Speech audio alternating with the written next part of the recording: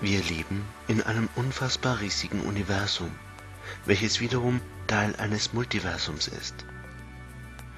Alles darin hat denselben Ursprung und ist über den sogenannten kosmischen Äther untereinander simultan verbunden. Dieser kosmische Äther hält alle Universen seit Anbeginn der Zeit zusammen. Nichts befindet sich außerhalb von ihm, alles existiert in ihm. Dieser kosmische Äther wird unter anderem auch als universelles Bewusstsein bezeichnet. Jenes Bewusstsein, welches sich in unzähligen Formen manifestiert, um sich selbst zu erfahren.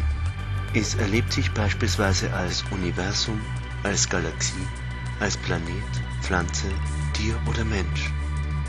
Somit gibt es in Wahrheit kein Innen oder Außen, kein Ich und die anderen, sondern nur dieses eine Bewusstsein, welches jeden Augenblick durch alle Augen blickt und selbst das kleinste Staubkorn beseelt.